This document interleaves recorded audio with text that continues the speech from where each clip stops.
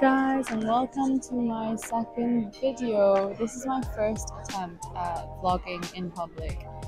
I find it really daunting because I feel really self-conscious and I feel like people are looking at me but who gives a fuck? They're, I'm not to see them again. I'm going to Japan today and I'm super super excited. I've never gone through security this fast before in my entire life, especially at Stansted Airport in London.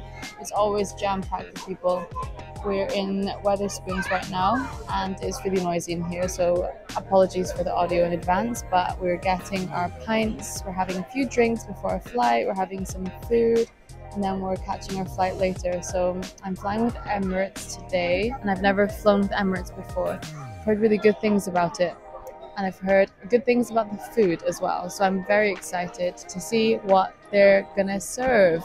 We've got two flights today, one going from London to Dubai, uh, which is about seven hours, and then got six hours layover in Dubai, and then we've got another like seven, eight hour flight. So it's going to be a long one. It's going to be like a 24 hour journey. So I'm going to take you with me. So I'm currently hour number four out of seven, I think. Flight one out of two.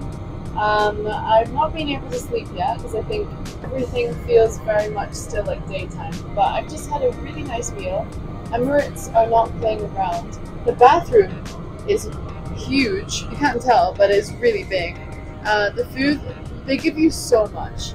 They had chicken biryani. There was like cheese and crackers. There was bread. There was a cookie, chocolate, dessert. I've been on a lot of flights, and this is the best one um, out of all the ones I've had.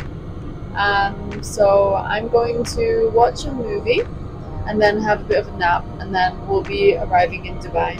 But so far, everything is going really well.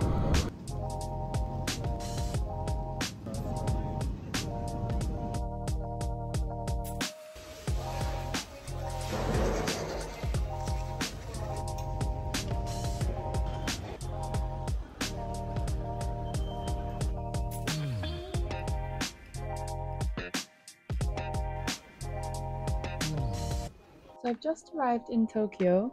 Um, it feels very surreal that we are here, to be honest, because the journey has been so long. Like that second 10 hour flight caught me by surprise.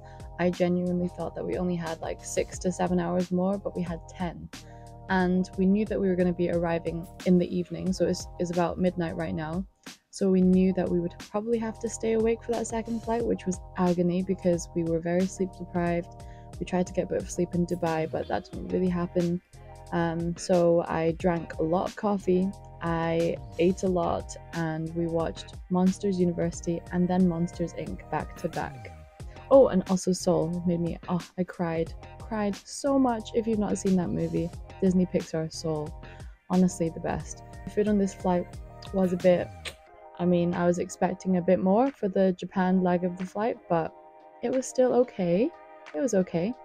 Um, got some rest. I feel like I'm ready to sleep now. We've arrived at our hotel and it's just one stop away from the airport because the trains stop at midnight and we didn't want to have to lug our bags across the city in the middle of the night, um, potentially with a very expensive taxi. So we are just in this cozy little place. It's quite literally cozy because I am sleeping in a box. Um, it's cute though. We went out to 7 Eleven and Family Mart, which are classic, classic convenience stores here in Japan.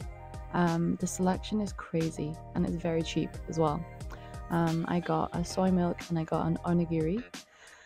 They're so yummy! I had to restrain myself from not getting more. My boyfriend had to restrain me as well. He was like, Don't go too crazy because we're actually moving to a different hotel tomorrow morning because we're going to Tokyo tomorrow morning. Well, like city center. Um, so we're just going to rest up now in my little box bed and yeah, hopefully have a fun day tomorrow. And if you enjoyed this video, please like, subscribe, put the bell icon on, and follow me on Instagram, which is Peachy Poler.